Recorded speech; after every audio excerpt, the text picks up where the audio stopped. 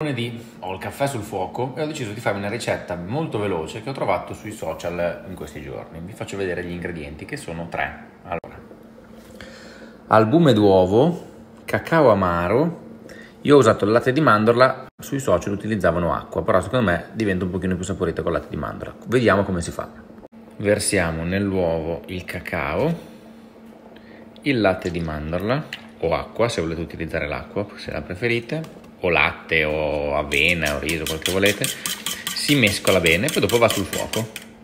Adesso nel mio pentolino giallo, che non può mancare in queste occasioni, gli vado a versare il tutto, faccio cuocere. Pentolino giallo, adesso vi metto la marca perché siete impazziti per questo meraviglioso pentolino.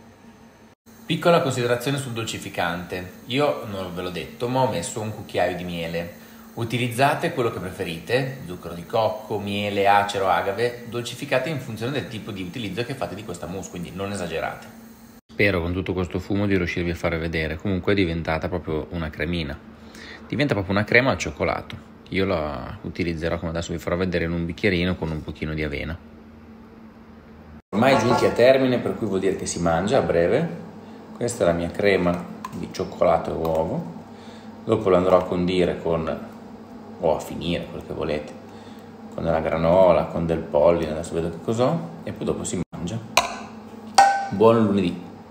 Benissimo, la mia colazione è pronta, guardate che bei colori, ho messo del polline e della granola, si mangia davvero con gli occhi, ora facciamo la prova del cucchiaino, andiamo a prenderla.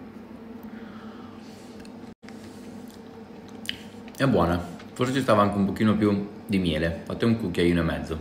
Buon lunedì e buona giornata.